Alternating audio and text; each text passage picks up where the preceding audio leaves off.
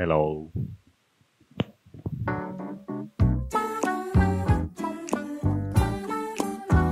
think squash and stretch is all wrong, so I'm I'm gonna make a video about it because I'm unemployed and I don't have anything better to do. um,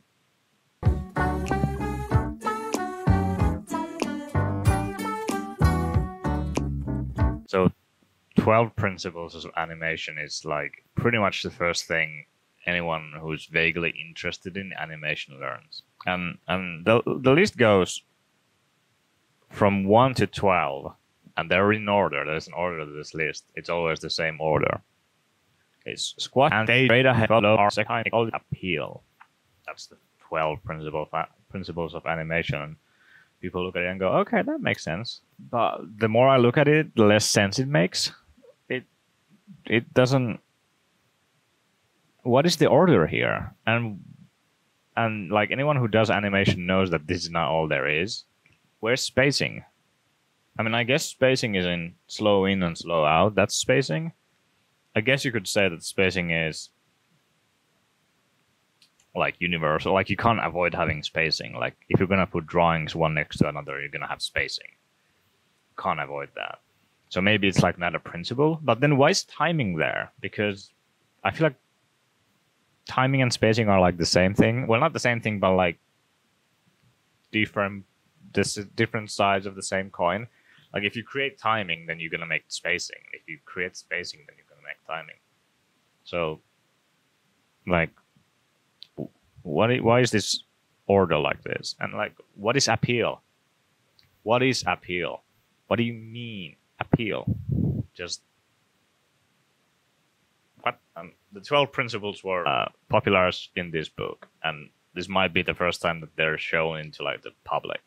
But basically, it's like a list of animation principles by um, Disney animators, um, just to remind the animators on what's important. So, like you know, like if you have a like post-it notes, you might have post-it notes on your you know computer monitor that says, "Don't forget to do this. Save your work. Go buy eggs from the store." Um, that's what 12 principles is it's not law and it's not even that scientific or like it, they haven't like i don't feel like it's that complete they haven't even attempted to make like a full list even in illusion of life they have like at least two other lists of, of principles that they uh, include in the book they have uh, fred moore's has like 14 principles and then uh, Ollie and Frank Thomas, oh, well, they're not married. the more I found out about their past history together, it becomes more and more extraordinary. And I guess it's kind of an enigma to me because I'm not that close to somebody. I mean, to a male friend. Me, I can't figure out what it is that fuels it, what is it that gives it life. Um, that's the mystery of love, I suppose. Well, they're not married. Ollie Johnston and Frank Thomas, they create um, another set of principles simply based on um, uh, Bill Tytla's work. And so, like, you can have different lists of principles, and I think that's really under, important to understand that you should have your own subjective list of principles because that's what the 12 principles is. That said, all the other lists that you see on the illusion of life, for example, are really weird. Well, not weird, but they're abstract. They're like wishy-washy. They're, they they have things like uh, make sure you convey emotion or something. It's like what what do you mean? That doesn't mean anything. Um, it, like yeah, of course I'm gonna convey emotion. I'm, I mean I'm gonna try. So the twelve principles is really technical. It's like one of the more technical well, or it's probably the most technical list because like they're all kind of practical things that are on the list aside from like appeal. What the f- so so I think that's why, because of the technicality and really the simplicity of the list, is why it is the list that everybody knows of animation principles. But the order makes no sense, and I and, and I think it's supposed to be in order of importance. It's not like in order of fundamentality. Like you know, like if that was the case, then timing would be one. right? Because timing would be the most important thing, but it's not. Um, so it's probably in the order of like just importance of like if you are gonna forget one thing on this list, you better not forget squash and stretch. And squash and stretch is actually the one I want to talk about here, because people look at it and they go, um, "Yeah, yeah, squashing and stretching. You have a ball and it goes like that's squash and stretching," and and then they leave it at that, and and that's wrong. that's dumb. You're a dummy. You're an idiot. I hate you. I uh, I actually prefer Animator's Survival Kit. I don't have it here um, because uh, somebody gave it to me as a PDF years and years ago, and I haven't had the need to buy it. So I don't have it here, but I would bring it up if I did, which I feel like it's shameful to say, but also whatever. Um, Richard Williams actually starts with like timing and spacing, and just flat out says like, if you take everything out of animation, then you're gonna have timing and spacing. Like that's you can't have animation without timing and space. Like if you put images one after another and play them rapidly, then you're gonna find timing and spacing there. Even if the balls just go like this or whatever, you know, it's still gonna have timing and spacing. So, so timing and spacing are just fundamental and unavoidable. Maybe you want to put posing in with timing and spacing. So the three things that you can't avoid are timing, spacing, and posing. If we think of posing in terms of like creating things, like I have to make a guy to animate, you know, I have to draw the guy, and drawing that guy includes everything that in, that goes into drawing a little guy, and so. Uh, that's that's basically what posing is. Um, and so you have you have timing, spacing, and posing. And uh, to illustrate this, he does the coin exercise uh, in the book, which is amazing, and everybody should do because you, that you don't have any other control than moving the coin. And then he shows this with um, the bouncing ball exercise, which uh, is really nice and simple. It's just a bouncing ball, and it looks nice. From there, he gets into um, squash and stretch like he should, because once you do timing and spacing a bouncing ball and nothing else, you realize that you're not really conveying what the material of the ball is. Like you can slow it down and speed it up and reduce the amount of bounce and recoils and whatever, and you will communicate how heavy the ball is, but you're still kind of lacking that material something from the ball. And so he then says, uh, you can use squash and stretch to uh, illustrate um, what the ball is like. And then he shows this picture. And I hate this picture. This is I, I hate it. Here's the same picture on Illusion of Life. I hate it. It sucks. This is a god awful illustration of squash and stretch. Like, what is going on here? what is squash and stretch?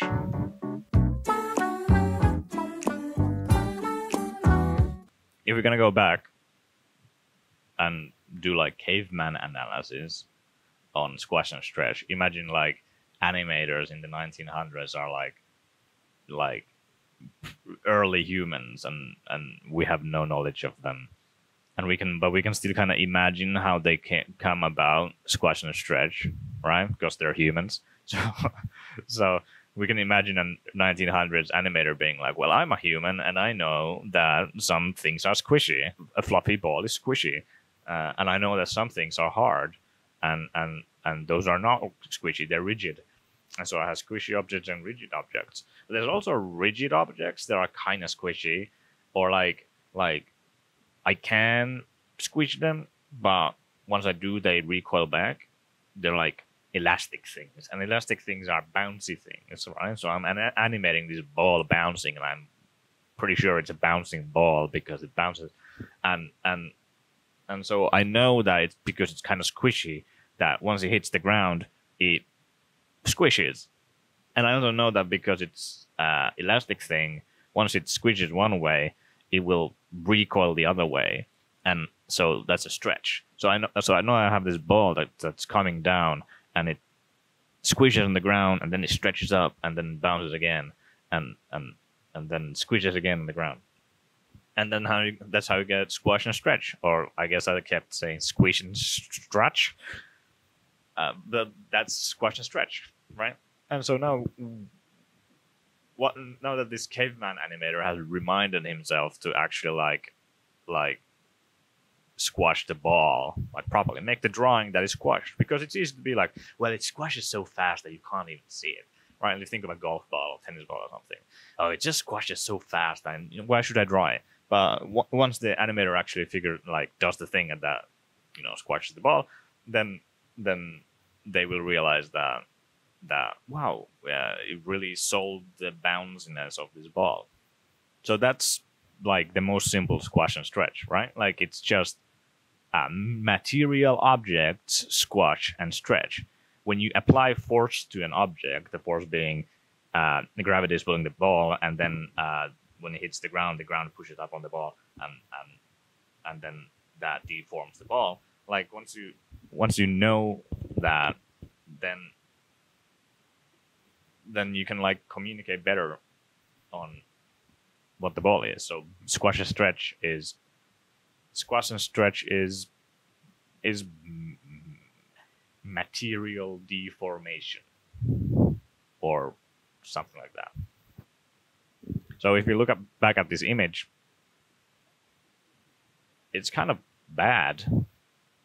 Can you like you see here on this part? Like why is it stretching here? Like what is happening? Why does it become an egg before it hits the ground? Like, what is if bo- if squashing and stretching is the result of like physics, like the force being applied to this ball that causes to stretch? What is stretching it here?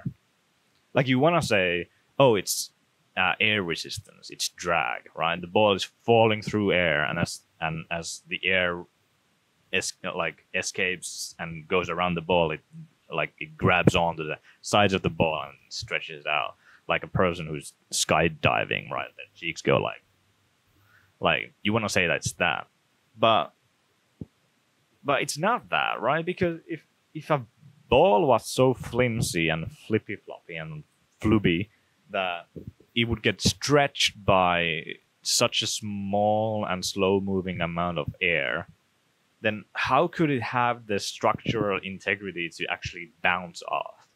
Right?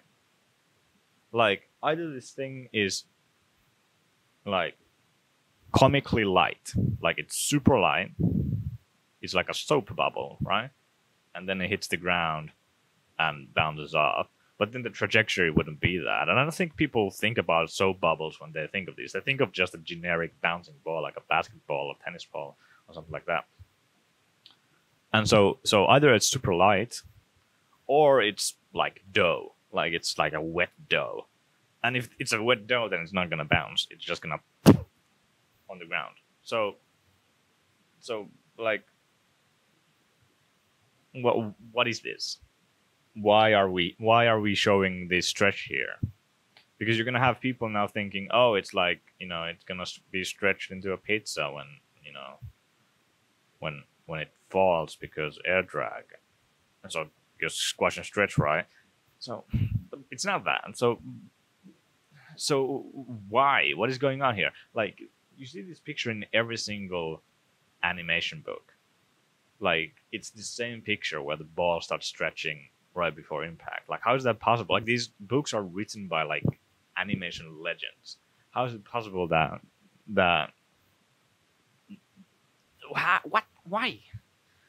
Like are they are they idiot? Is he dumb? Is he dumb? Are they idiots? They're probably not idiots. So the so let's figure out what the fuck squash and stretch is. Part two is Smearsa squash and stretch.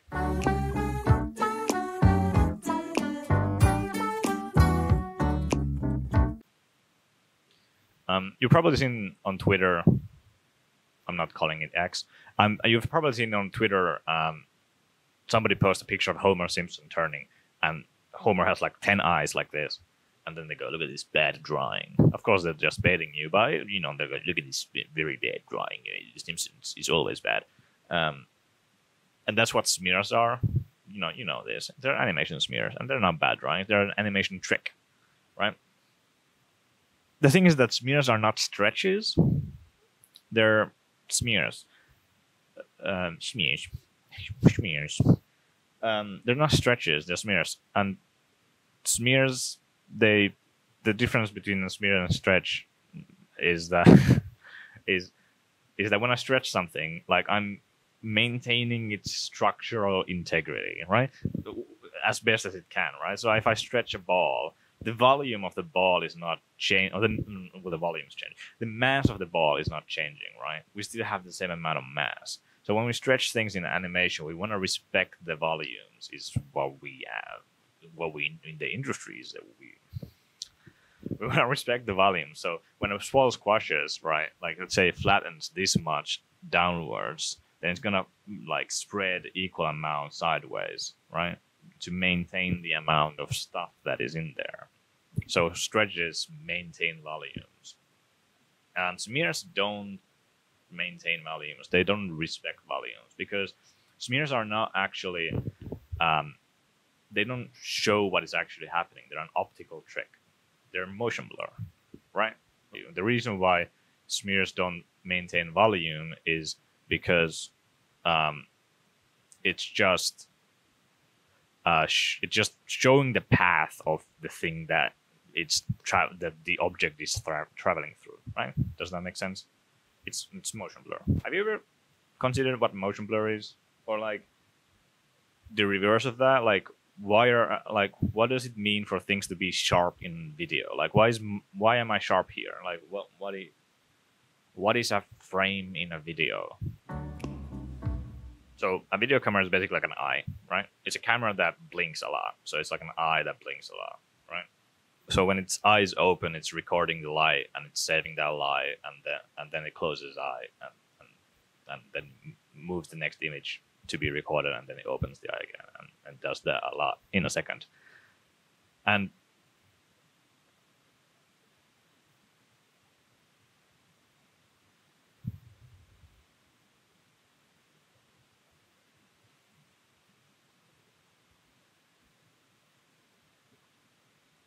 Uh, so when something is traveling so fast that w- during that moment when the eye is open, um, he actually manages to travel a significant distance, right? So you have an eye blinking, and then something's moving so fast that he actually managed to go from here to here during the opening of an eye.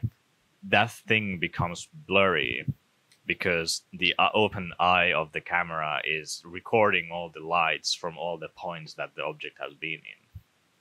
And I think that's kind of cool. Like, I think it's cool that things are sharp in video because, like, a, a, a, picture that is motion blurry and a picture that is sharp are still the same thing. Like, they're they're made up of the same process. Like, the process doesn't change. Like, the camera doesn't see a subject that is still and then say, "I'm gonna focus on that."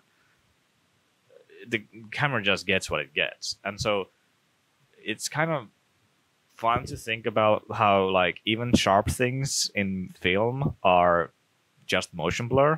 Like it's all motion blur, but just that the things happen to stay still during the opening of the eye enough that that all the light that was recorded during that thing is are like you know they average out into something that's sharp, and so motion blur is also just averaging out of a motion, but it's you know covering greater area on the camera eye than than the size of the object on the oh my god okay.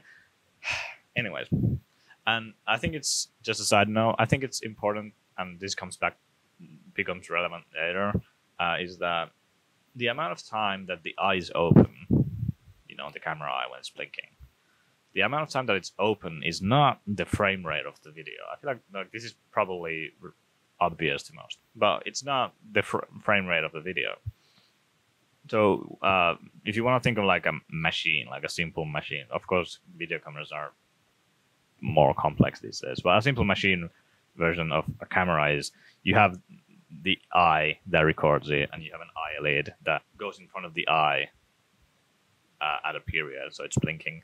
And then behind the eye, you have the film that is that is actually like collecting all the light that the eye is recording. And every time the eye closes, a new piece of film moves behind the eye. And and the rate at which a piece of film moves and is replaced and just, you know, cycles in and out, that's the frame rate of the video. So so you know, 30 times a second, 24 times a second, a new piece of film will come behind the eye to be recorded light, right? But then within that, like 24th of a second, there's also another fraction of a second when the eye is open, right? Because that 30th of a second is made up of the time that the eyelid is closed, but also the time that the eyelid is open. And the time that the eyelid is open is how, mon- how much time there is for the eye to record light, right? So the film moving in is frame rate, but the time that the eye is open is called exposure exposure time or shutter speed. And so the greater our exposure time, the slower our shutter speed. Um, the more time there is for things to become blurry, right? Like the more the eye is open, the slower something has to move for it to become motion blurry. And this is important and interesting for animation because what is the exposure time of animation?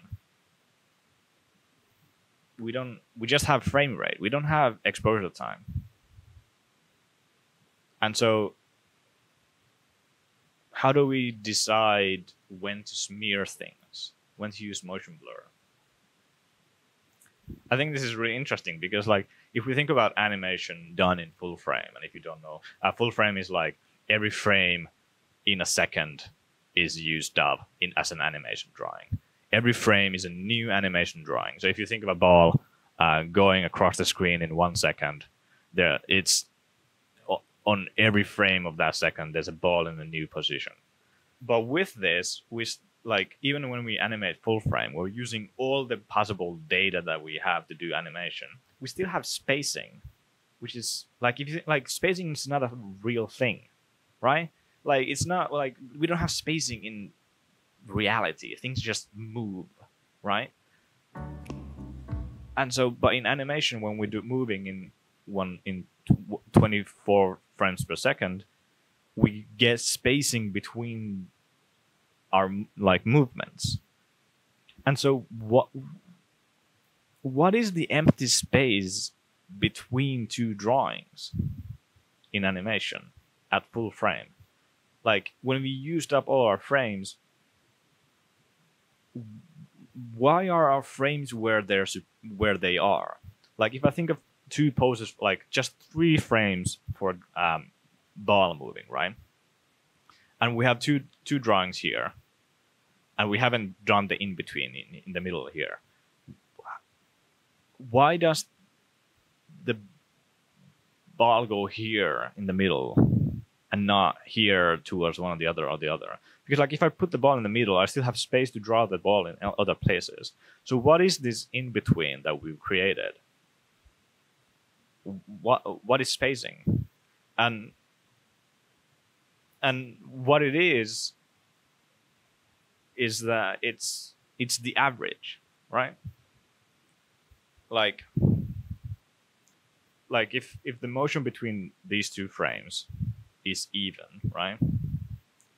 Then the ball that we draw in between them is just is just the centered average of all those balls.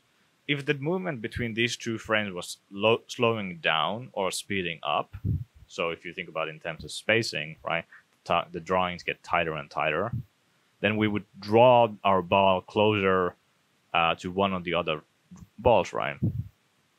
But but in even even in those cases, what we're drawing is just the average, right? Because every time we think of a spacing, we could always just keep adding more spacing, right? Does this make sense? Is this not insane? So what are we doing when we're actually creating drawings? Like what are we saying when we say that this pose happens on this frame?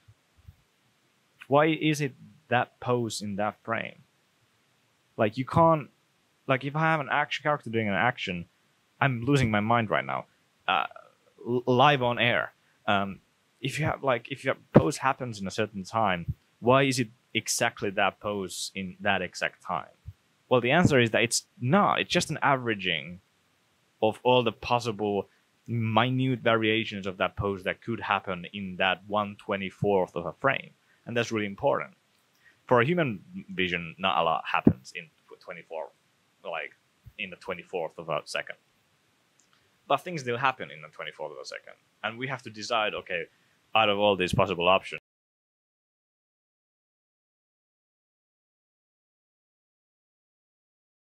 out of all these possible options, what is the one that we do? And we instinctively do the average one, right? And so when we think about smears, we're just doing, we're just increasing the average that we're showing, right? Like, like take these two balls and the ball that's in the middle of them. There's all these potential drawings here in like steel that could have existed. And if we smear something, it's just gonna like borrow from those hypothetical drawings and expand itself, right? It's motion blur. By motion blur, we're showing the average light that got bounced from an object during its trajectory. Okay, sorry for that tangent, but I don't know, I lost my mind. Um, going back to when do we swear? Swear. When do we smear? Uh, we smear. We can do an experiment uh, with uh, with the ball again. So if I lay out a track, a timing spacing chart on a paper, and I say this timing and spacing is going to stay the same throughout this entire experiment, and we're going to add a ball there, and the ball is going to move according to the timing and spacing chart. Uh, and as the experiment goes on, I'm going to change the size of the ball. So at first it's very big, and it goes through the timing and spacing chart and it looks very smooth. And as I keep making the ball smaller and smaller, and it will start moving faster. It, it will look like it's going faster because it's it's traveling more distance in relation to the size of the object, right? That's why like a big thing moving very fast in a distance will look like it's moving slowly because it's not covering much of its own distance, right? And so as the ball gets really slow, uh, really small, it starts to go really fast. And at some point, it starts to go so fast, and it starts. um, at some point, it starts uh, going so fast that it actually becomes disjointed. Like it kind of the movement starts to break down because the ball is going so fast, it's traveling such a long distance per frame that that it looks like it's skipping, like it's teleporting. Like it's no longer connected. Um, and at, when that starts to happen, uh, we can use smears. So instead of drawing a, you know, a ball, we do a smear, and that smear represents all the positions that the ball the, the, the ball is in uh, during that 124th of a second. And we do that, and we have motion motion blur, we have a smear, and and we've fixed the problem of skipping because for some when something goes too fast. Um, it's not just a utility thing. Smearing is also, and maybe even more importantly, part of the shared language of animation. It's just a convention. We understand that when something's smeared, it's going fast. That's just like a smear can be pretty slow, and the audience still goes, "Okay, I'm supposed to think that this is fast." And so like maybe the audience goes, okay, this is like subjective time thing where it's like we have a smear, but I could see the smear, so it's not that fast. And um, but okay, but it's still fast. It's it's a communication thing. It's a design thing. It's not just utility. Um, uh, Richard Williams uses a smear in his book, and he actually doesn't call it a smear, and I think it's wrong. Like in his book later on, he starts to speak about um, elongated in betweens as a way of talking about smears but uh, that comes after this example that I'm going to show you. But this example is definitely a smear. It's not a stretch. He calls it he calls it a stretch. So, but it's a great example.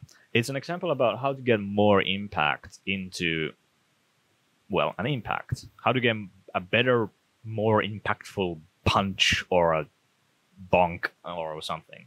And it's an example of co- a coyote, you know, probably being shot from a can- cannon or something, you know, flying at a wall. And and Richard Williams' is like first instinct for this thing, or at least in this example, is to you know uh, draw the coyote flying at an even pace, and then when the head is at a touching distance from the wall, he just draws on that frame the coyote being uh, like smooshed against the wall, and that's um, Richard Williams' first instinct for doing that. And I think I think he's doing it intentionally badly. Um, he shows that Ken Harris then corrects him, or I don't know if Ken Harris did, but something like he shows a correction to this. So instead of just right away jumping to the impact where the coyote is like smushed, you draw the head making contact with the wall, but not drawing, you know, the body transforming yet. So you get the contact without the weight distribution, and that way you get better communication for what's happening. Um, and that's that's totally right. And then Richard Williams shows, shows the trick.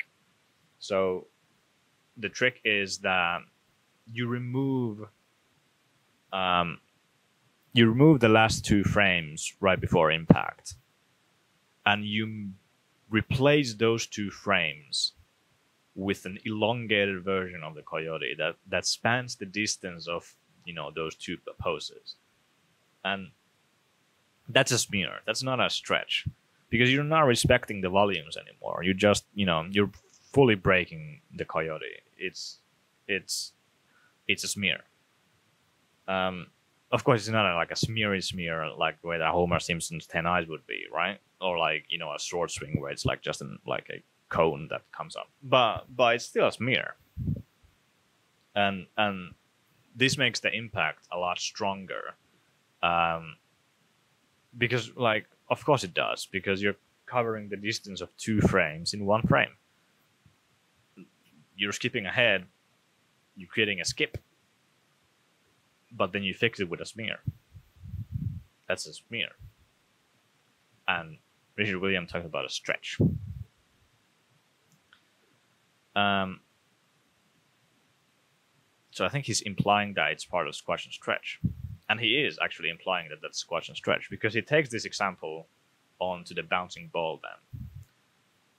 To Richard Williams' credit, in the beginning when I said that this is a horrible image, uh, Richard Williams also agrees that it's it's a very fringe case image, and so so he's not surprisingly a total dum dum, but he takes this this coyote example and then brings it to the bouncing ball example, precisely pointing out that there's a lot of squash and stretch here. Like it doesn't make sense. Like there's too much squash and stretch. And he does this whole page on that premise, and then he never he never touches the squash and stretch. He just he just talks about contact. Like the contact point. He doesn't address the squashing and stretching right before impact, right before contact. Why? Why, Richard? I. That's upsetting. Um, so, what is going on here? But we now have the tools to understand what's going on here. This ball is stretching here because it's a smear right? It's not stretching because the mass is being deformed. It's being stretched because it's a smear. The ball is going faster, and so we're gonna merge that those drawings of the ball with some of the other drawings that could be surrounding it, and we create a smear.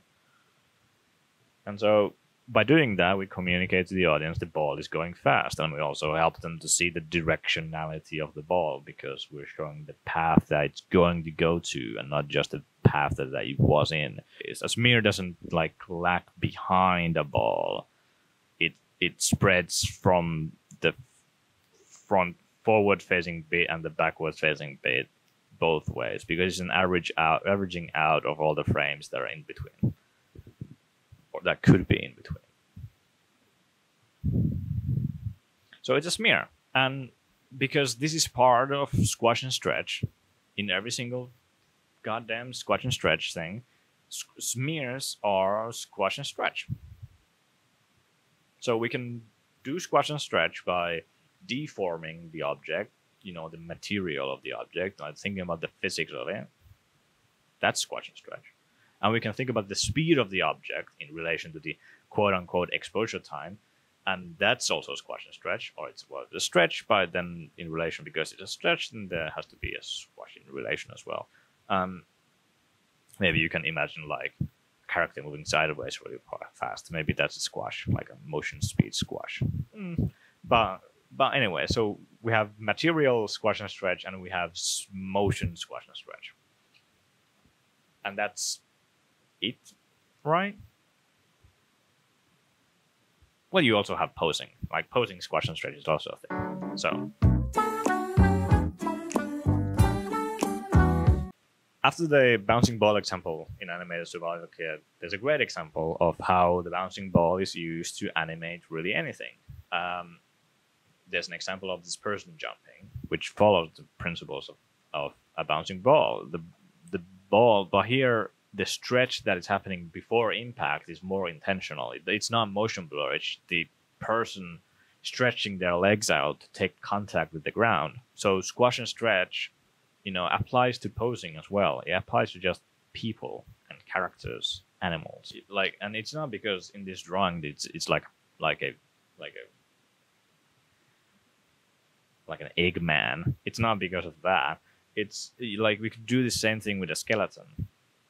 Like if a skeleton puts arms up its head, above its head, straight up, he's stretching now, right? Like this is a stretch. And then if it go, goes like this, this is a squash, right? It's it's squashing up.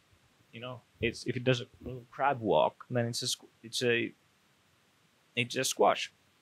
And so this is something that I think every like artist realizes, and I mean it's also taught in like anatomy class and stuff like that. Like when we bend like this, we get a squash here and a stretch here. But this is the material stuff, right? This is the same one as the first kind of squash and stretch. But then we also just have squash and stretch in terms of like this is a squash, this is a stretch, right? And and yeah, I feel like that's pretty obvious. I don't like. I just spent so much time talking about smears, and now I'm just like, yeah, okay, but poses as well, and that's it. End of the story. Poses. Yeah, you can, you can, you can squash and stretch with poses. But I don't think that's all of it. And this is my, this is a very, um, uh, this is a radical claim. But I think you can do squash and stretch with just like rigid ob- objects, just totally rigid objects like once because like you want to think like okay humans can squash and stretch because we have joints right? Like it's the like i can fold my joints into a ball so that i become kind of squashed or i can uh like open them up and i become stretched. I think that's not all of it. I mean that's for human posing that's definitely what it is. But i think if we were just an arm bone if we was if i was you know if i was just you know a stick I feel like I could still do squash and stretch. Because, well, okay, I'm gonna show an example on from uh, Cyberpunk Edge, Run, Runners.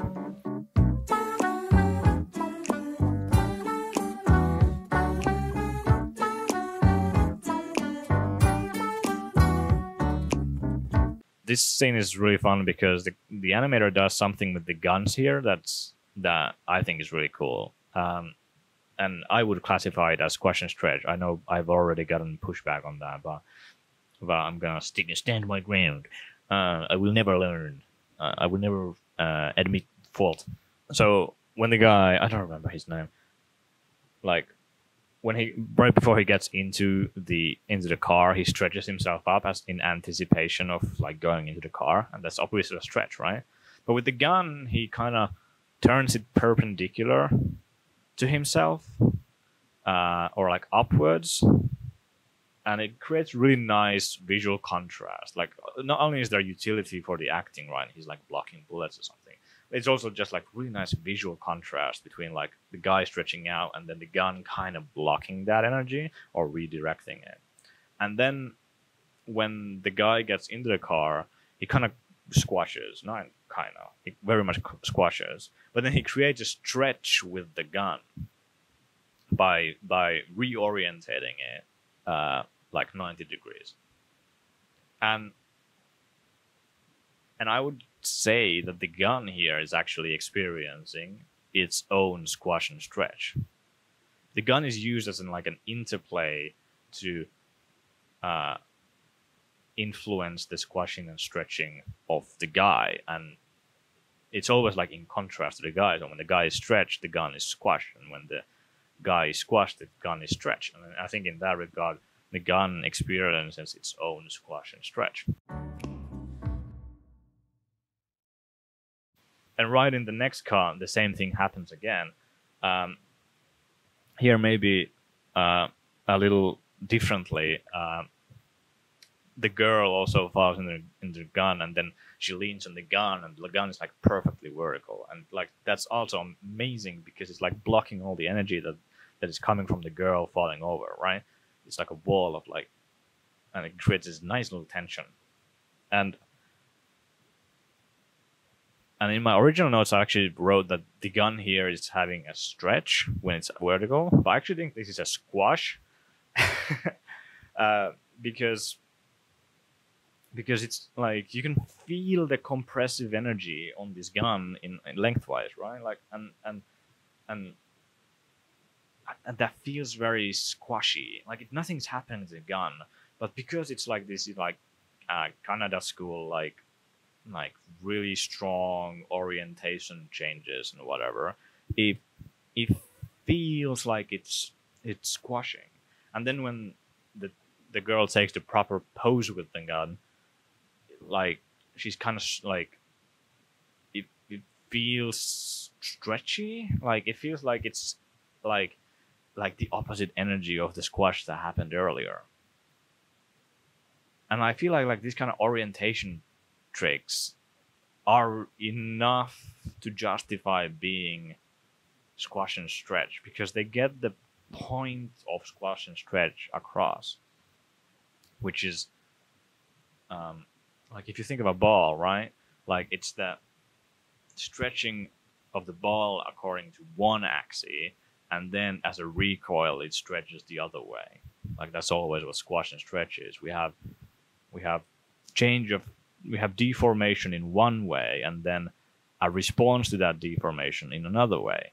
And these gun plays here that is happening in this scene feel very squash and stretchy, even though nothing's actually squashing and stretching. They're rigid objects. Um, like I can think of other things like, like, if I think of a, like a character doing a kickflip, no, not a kickflip, but, but some kind of flip where the board goes vertical and spins. I'm not a skateboarder. I don't know. When I think of that, right, the board is going like this, and then just flip and goes like this, and then like this is a stretch. This feels like a stretch. Like we're changing we're just changing the orientation of the board. That feels like a stretch. Like I know I'm just vibing here. Like it's not like I can't really justify this. It feels like it's a stretch, but I, I don't know. I feel like a tree. You know, you know, you have a tree. That's like a stretch, right? And then when you get the tree down, down, uh, that's a squash, right? Like I feel like I'm losing my mind, but but this feels right because like when I think of squash and stretch, it's what it really is is visual contrast. It's a change in shape. It's shape contrast. Squash and stretch, like if we go back to thinking what the 12 principles even are, they're reminders, right? They're reminding us to keep these things in check. And so, what is squash and stretch reminding us? Well, it's reminding us that one, materials deform, just the deformation of materials. Two, uh, speed stretches and deforms things as well, optically. And three, uh, use the squashy and stretchy qualities of posing, so covering, stretching, spreading wide. Use those to those feelings about those posing, like lean into the squashy quality of a squat or something. You know, it's a reminder to pay attention to those qualities of you know animation. And that's what it does. And so so all of what what combines all of these in my opinion is is is visual change over time shape change over time. And and that feels like that's what squash and stretch actually is. And if we think about squash and stretch as like uh like emphasizing contrast shape contrast then it's very similar to something like anticipation right? Like and if you think about anticipation so much of it is squash and stretch. Like imagine a cannonball is flying at a character like you do the anticipation trick of like going down shooting up and then screaming right? Like that's anticipation of the thing. And that's just squash and stretch right? Like if you gotta jump up you gotta squat down before you can stretch out right? Like that's squash and stretch. And so anticipation and squash and stretch have, have a lot of common. And i like in my brain i treat these two as like part of the same like like category of like the animation principles that deal with uh, visual contrast um, or communicating like shape contrast or visual contrast. It's the same with in, in the same category you also have staging. So like if staging is the principle of just like framing things in a way that they're clear as day. So if I was to stage myself like an animator right now talking, I would have my microphone somewhere here, right? Like a really dumb, a really dumb pose, you know. So as you can see the silhouette of the microphone. If I'm like this, you can't even see the microphone in the silhouette. So that's like poor staging. It doesn't read well, uh, and so so that's like like the most general visual contrast thing you can do is like just make your drawings clear. It's kind of like solid drawing again, maybe even appeal. What is appeal? We don't know um, it's like it's like that again. If anticipation is relation is the subject relating to the outside world, then uh, squash and stretch is just the subject and its relation to itself. Does that make sense?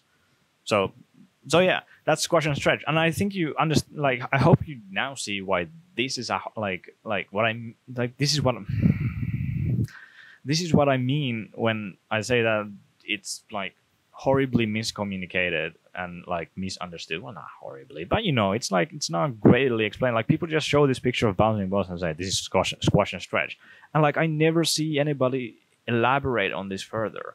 It's just bouncing ball, but that's not what it is, and like I. Uh,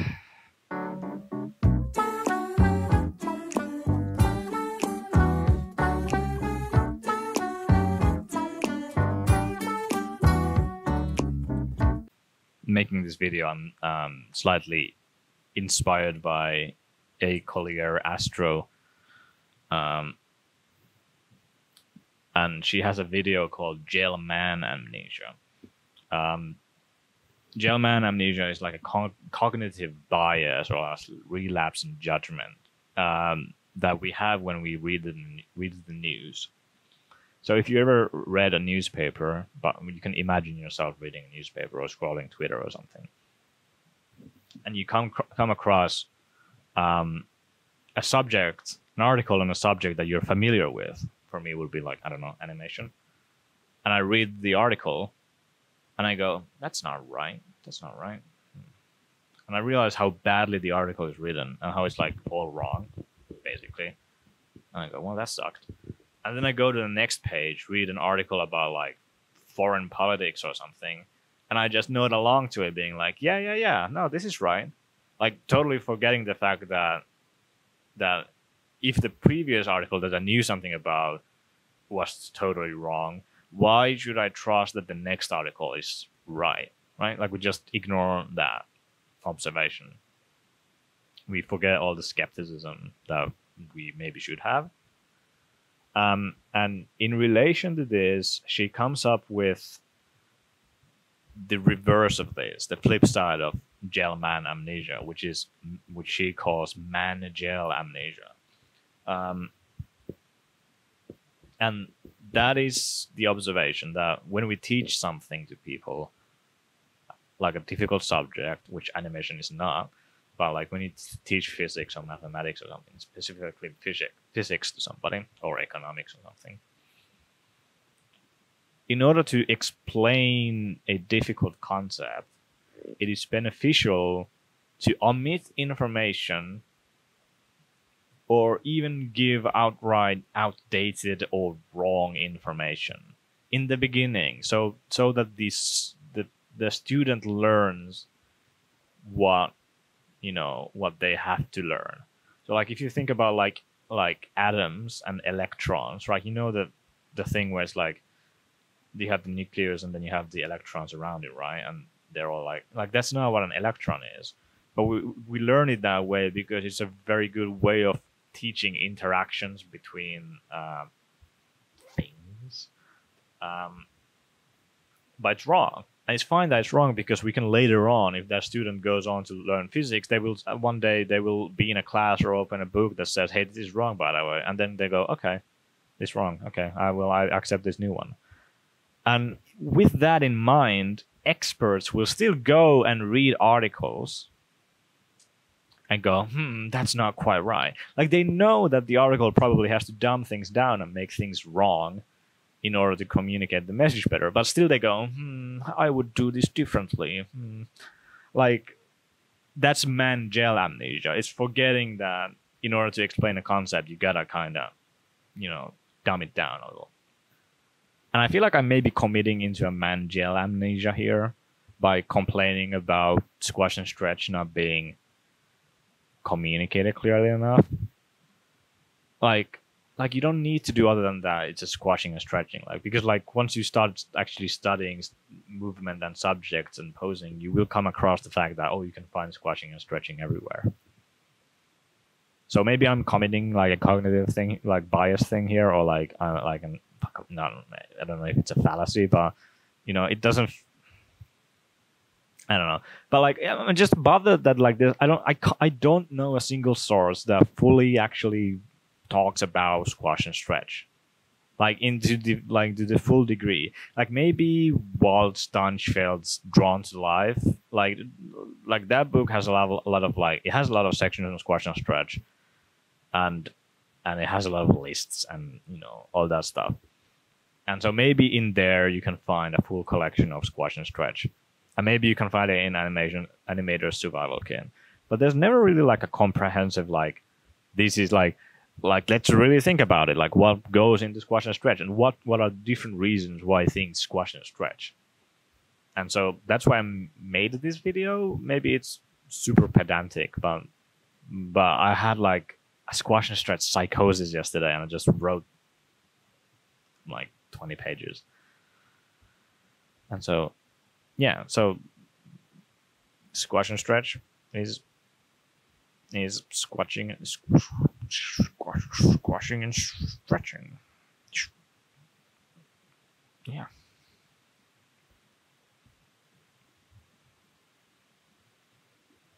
All right.